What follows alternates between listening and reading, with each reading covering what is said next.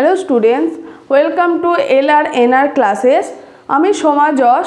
আজকে আমি তোমাদের ক্লাস সিক্সের বাংলা যে ব্যাকরণ বই, ভাষা চর্চা, তার থেকে পাঁচ নম্বর যে অধ্যায়টা রয়েছে, সেই অধ্যায়টা নিয়ে আজকে আলোচনা শুরু করব। তো পাঁচ নম্বর অধ্যায়ের নামটা কি? পাঁচ নম্বর অধ্যায়ের নাম হচ্ছে শব্দযোগে বাক্য গঠন। অর্থাৎ শব্দ যুক্ত করে কীভাবে বাক্য তৈরি হয়, আজকে তোমাদের সাথে সেটাই হবে আমাদের আলোচ্য বিষয়।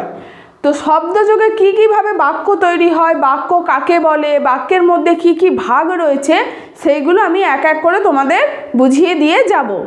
প্রথমেই দেখো বলেছে পরস্পরের অর্থ সম্পর্কযুক্ত পদগুলি জুড়ে নির্দিষ্ট ক্রম অনুযায়ী বিন্যস্ত হয়ে যখন কোনো বক্তব্য, ধারণা বা ভাবনাকে প্রকাশ করে, সেই এককগুলিকে বলা হয় বাক্য।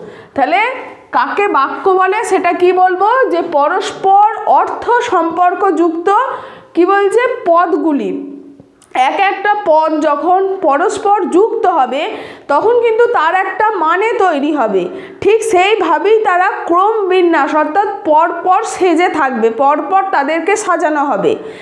এমনভাবেই পদগুলোকে বসানো হবে যেন পরপর বসার পর তারা একটা নির্দিষ্ট অর্থযুক্ত শব্দ তৈরি করে এবং সেই শব্দটা তৈরি করার পর যখন কোনো বক্তব্য বা কোনো ধারণা বা কোনো ভাবনা চিন্তাকে প্রকাশ করে তখন সেই শব্দগুলোকে পরপর আমরা বলব কি?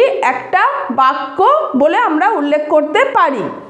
সেই রকমই বলেছে, কথা বলার সময় যেমন বহু পদ দিয়ে বাক্য তৈরি হয়, ঠিক তেমনই একটি পদ দিয়েও কিন্তু বাক্য তৈরি হয়ে থাকে। ধরো আমি তোমাদের বলছি যে, তুমি কি কাশ্মীর বেড়াতে যাবে? এই যে পরপর পদগুলো বসালাম, তুমি কি কাশ্মীর বেড়াতে যাবে? এই পরপর পদগুলো বসিয়ে কিন্তু তৈরি হয়েছিল একটা বাক্য।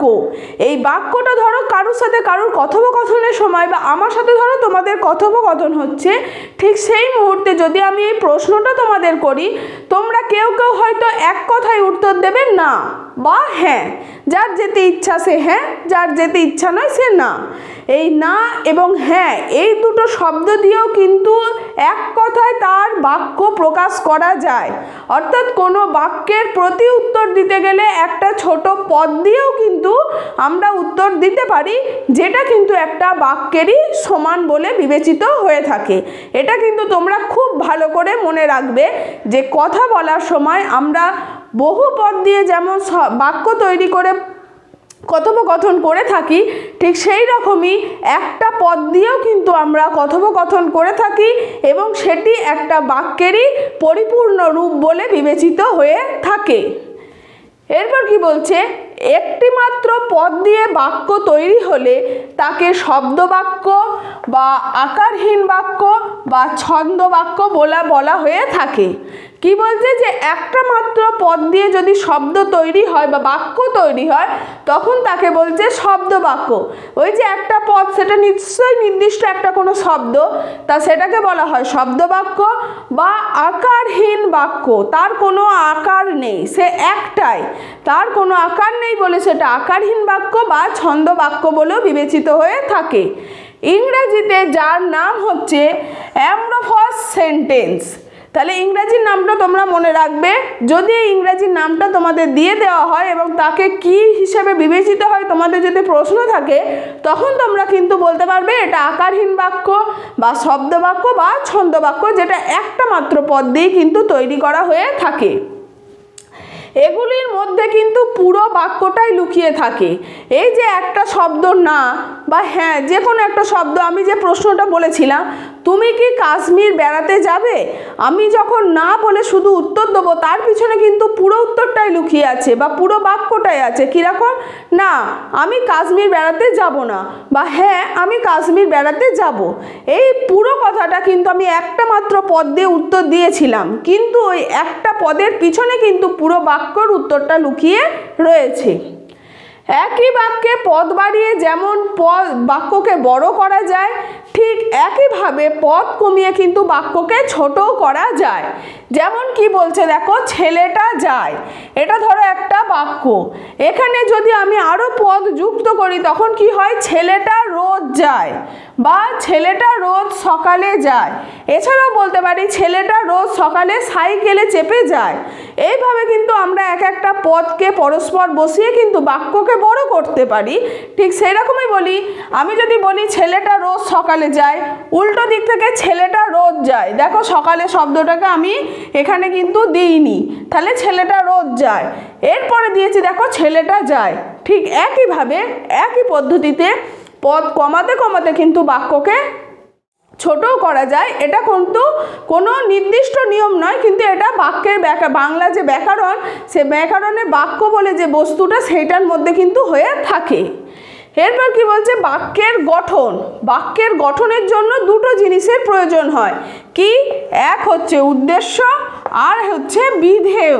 এইটা খুব ভালো করে তোমরা মনে রাখবে। বাক্য গঠনের জন্য কি কি প্রয়োজন? দুটো জিনিসের মেন প্রয়োজন হচ্ছে দুটো জিনিস।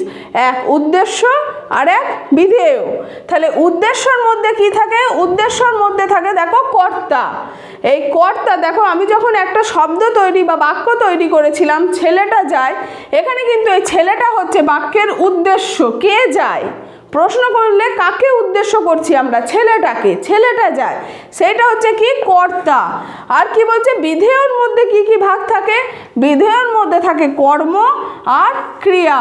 অর্থাৎ কর্তার বিপরীতে কর্ম আর কাজ করাটাকে এই দুটো জিনিসকে কিন্তু বিধেয়র মধ্যে ফেলা হয়ে থাকে। যে কোনো বাক্যের মধ্যে প্রথম অংশটা কে বা কাকে দিয়ে প্রশ্ন করলে যে উত্তর পাওয়া যায় তাকে বলা হয় উদ্দেশ্য এবং ওই উদ্দেশ্যটা বাদ দিয়ে বাকি যে অংশটা পড়ে থাকে, সেটা কিন্তু হচ্ছে বিধেয়। এটা মনে রাখবে তোমরা। তো এখানে কর্ম কি হচ্ছে? সাইকেলে। আমি যখন বলেছিলাম ছেলেটা রোজ সকালে সাইকেলে চেপে যায়, তাহলে ছেলেটা রোজ সকালে কিসে চেপে যায়? আমি যখন প্রশ্ন করছি, তখন তার উত্তরটা আসছে সাইকেল। সাইকেলটা হচ্ছে ছেলেটার কর্ম। আর ক্রিয়া কি বলছে? যায়। তার কাজটা কি? যাওয়া। সাইকেলে চেপেই হোক, হেঁটেই হোক, তার কাজটা হচ্ছে যাওয়া। তখন এই যাই ক্রিয়াটা কিন্তু বিধেয় অংশের মধ্যে পড়ে থাকবে। এরপর তাহলে আমরা দেখে নিই, উদ্দেশ্য অংশের মধ্যে কি কি থাকতে পারে? উদ্দেশ্য অংশের মধ্যে থাকে কর্তার প্রসারক, ক্রিয়া, আবার কর্তার প্রসারক, কর্তা। তাহলে কি বলছে? কর্তার প্রসারক মানে কি বা কাকে দিয়ে প্রশ্ন করলে যখন আমি উত্তরটা পাচ্ছি, সেটা হচ্ছে কর্তা, তারপরে থাকছে ক্রিয়া, তারপরে আবার কর্তার প্রসারক অর্থাৎ কর্ম, এবং তারপরে আবার থাকবে কর্তা। এরপর বলছে কি, বিধেয় অংশ। বিধেয় অংশের মধ্যে কি কি থাকবে? সময়বাচক যে কোনো সময় বা বস্তুবাচক একটা বিষয় থাকবে। তারপরে থাকবে কর্ম এক, অর্থাৎ প্রথম যে কাজটা যে করছে সেইটা। তারপরে থাকবে ক্রিয়া, তারপরে থাকবে কর্ম দুই এবং ক্রিয়া দুই। এই সূত্রগুলো মনে রাখলে যে কোনো বাক্য থেকে যদি তোমাদের উদ্দেশ্য বা বিধেয় অংশ বার করতে বলে, তোমরা কিন্তু খুব সুন্দরভাবে বের করতে পারবে। এরপর কি বলছে? গঠন অনুযায়ী বাক্যকে তিন ভাগে ভাগ করা হয়ে থাকে। মানে গঠনের দিক থেকে কি কীভাবে গঠিত হচ্ছে বাক্যটা, সেই দিক থেকে বাক্য কিন্তু তিন ভাগে ভাগ করা হয়ে থাকে। কি কি? সরল বাক্য, যৌগিক বাক্য এবং জটিল বাক্য। আজকের এই ভিডিওটাতে আমি তোমাদের সাথে সরল বাক্যটা নিয়ে কিন্তু আলোচনা করব। পরবর্তী ভিডিওগুলোতে আমি যৌগিক এবং জটিল বাক্য নিয়ে আলোচনা করে দেব। তো সরল বাক্য কি? দেখে নিন সরল বাক্য হচ্ছে, একটাই সমাপিকা ক্রিয়া নিয়ে গঠিত যে বাক্যগুলিতে এক বা একের বেশি অসমাপিকা ক্রিয়া থাকতেও পারে, কিন্তু সেগুলি অন্য কারোর সাথে যুক্ত না হয়ে স্বতন্ত্র থাকে, তখন তাকে বলা হয়ে থাকে সরল বাক্য। তো আমরা এর আগে পড়েছি ধাতুরূপে যখন পড়েছিলাম, তখন কিন্তু সমাপিকা ক্রিয়া, অসমাপিকা ক্রিয়া পড়েছিলাম। সমাপিকা ক্রিয়া কি? যেটা কাজ সম্পূর্ণ হওয়া বোঝায়। অসমাপিকা ক্রিয়াই যেটা কাজ সম্পূর্ণ হয় না, তাকেই বলা হয় অসমাপিকা ক্রিয়া কিন্তু সেটা দিয়ে কিন্তু কোনো বাক্য তৈরি করা হয় না। অসমাপিকা ক্রিয়া দিয়ে বাক্য তৈরি হতে গেলেও তার শেষে কিন্তু সমাপিকা ক্রিয়া অবশ্যই থাকবে। তবেই একটা বাক্য কিন্তু তৈরি হবে। ঠিক সেই রকমই সরল বাক্য, সরল মানে বুঝতেই পারছ? সরল সোজা যেটা বলা হয় যে একটাই মাত্র সমাপিকা ক্রিয়া থাকবে। কিন্তু একের বেশিও অসমাপিকা ক্রিয়া থাকতে পারে। সমাপিকা ক্রিয়া কিন্তু একটাই থাকবে। অসমাপিকা ক্রিয়া একটা থাকতে পারে বা তার বেশিও থাকতে পারে। এই রকম পদের বাক্যের মধ্যে অসমাপিকা ক্রিয়াও যদি বেশি থেকেও থাকে, সেগুলো কিন্তু সমাপিকা ক্রিয়ার সাথে যুক্ত হবে না। স্বতন্ত্র থাকবে, অর্থাৎ নিজেদের মতো থাকবে, একা একাই থাকবে। তখন তাকে বলা হয়ে থাকে সরল বাক্য। যেমন কি বলছে, ছেলেটা রোজ সকালে দুধ দিতে যায়। তাহলে আমি যদি এই বাক্যটা বলি এটা কিন্তু একটা সরল বাক্যের মধ্যেই পড়ছে। তো ছেলেটা রোজ সকালে দুধ দিতে যায়। এটার মধ্যে সমাপিকা ক্রিয়া কিন্তু একটাই রয়েছে, অসমাপিকা ক্রিয়া কিন্তু বহু রয়েছে। তো এই ধরনের বাক্যগুলোকেই বলা হয়ে থাকে? সরল বাক্য। তাহলে আমি কি বললাম? যে সরল বাক্যর মধ্যে একটা সমাপিকা ক্রিয়া কিন্তু থাকবে, আর অসমাপিকা ক্রিয়া কিন্তু অনেকগুলো থাকতে পারে, কিন্তু সেগুলো নিজ নিজভাবেই থাকবে কারোর সাথে যুক্ত হবে না। এবার দেখে নিই সরল বাক্যের মধ্যে তাহলে কী কী বৈশিষ্ট্য প্রযোজ্য হয়েছে। বলছে, বাক্যর মধ্যে একটাই সমাপিকা ক্রিয়া থাকবে, যেটা সরল বাক্য বলার সময় আমি বারবার উল্লেখ করলাম যে সমাপিকা ক্রিয়া কিন্তু একটাই থাকবে। আর কি বলছে? বাক্যে অসমাপিকা ক্রিয়া থাকতেও পারে, আবার নাও পারে। আর তিন নম্বর বলছে, বাক্যগুলি অন্য বাক্যের সঙ্গে যুক্ত হয় না। মানে সরল বাক্যের মধ্যে এমনই ক্রিয়াগুলো থাকবে, যেগুলো নিজ নিজভাবে স্বতন্ত্র। একটার সঙ্গে অন্য বাক্যের সাথে আবার যুক্ত হবে না। চার নম্বর বলছে, বাক্যগুলিতে কখনো কর্তা উজ্জ থাকে, আবার কখনো সমাপিকা ক্রিয়া উজ্জ থাকে। অর্থাৎ কর্তা কোনো কোনো সময় উজ্জ থেকে থাকে, অর্থাৎ কর্তা থাকে লুকোনো, কর্তাকে আমাদের বুঝে নিতে হয়, আবার কোনো কোনো সময় সমাপিকা ক্রিয়াও সেই একইভাবে আমাদের বুঝে নিতে হয়, সেটাও থাকে উজ্জ এরপর কি? সরল বাক্যকে তিন ভাঙে ভাঙা যায়। তাহলে সরল প্রথমে কি বলেছিলাম যে গঠনের দিক থেকে বাক্য হচ্ছে তিন প্রকার, সরল, জটিল, যৌগিক। ঠিক সেইভাবে সরল বাক্যের মধ্যে আবার তিনটে ভাগ রয়েছে। কি কি? কর্তাযুক্ত, ক্রিয়াযুক্ত, সরল বাক্য।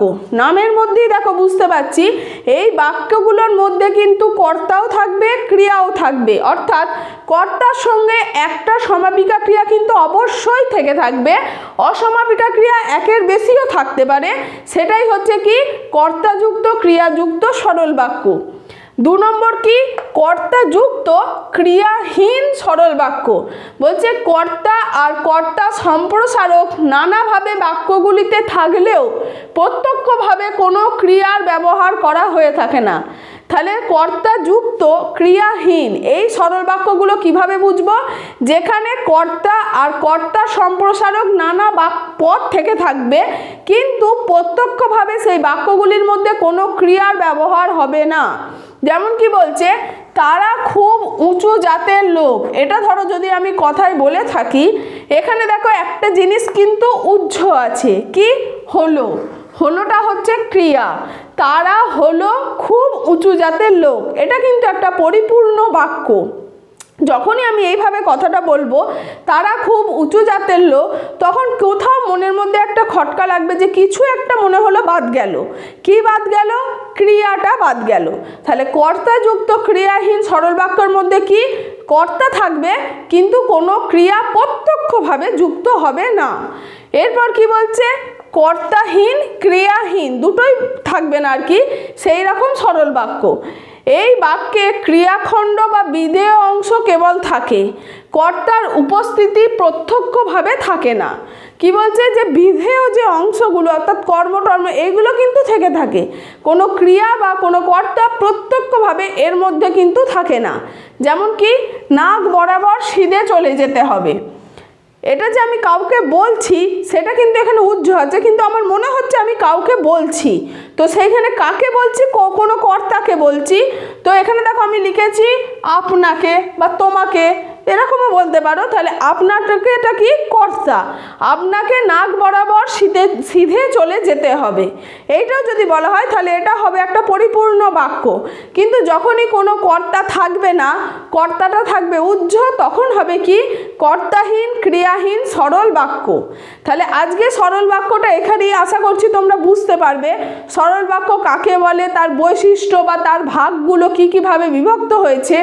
সে ভাগগুলো কীভাবে করতে হবে সেগুলো আশা করছি তোমরা বুঝতে পারবে। তো আজকে এই ভিডিওটার মধ্যে আমি শুধু তোমাদের সাথে সরল বাক্যটা নিয়ে আলোচনা করলাম। এর পরের ভিডিওগুলোতে আমি যৌগিক এবং জটিল এই দুটো বাক্য নিয়ে আলোচনা করব। তো আজকের এই ভিডিওতে সরল বাক্য নিয়ে আলোচনা করার সময় তোমাদের যদি মনের মধ্যে কোনো প্রশ্ন যে থেকে থাকে তোমরা সেগুলো অবশ্যই কমেন্ট বক্সে জানিও, আমি উত্তর দেব। আর এই শব্দযোগে বাক্য গঠন থেকে যে কোনো রকম এমসিকিউ নোটস বড় নোটস পেতে হলে বা আদার্স যে কোনো চ্যাপ্টার থেকে এমসিকিউ নোটস বড় নোটস পেতে হলে তোমরা গুগল প্লে স্টোর থেকে এল আর এন আর অ্যাপটি ডাউনলোড করবে এবং ব্যবহার করবে।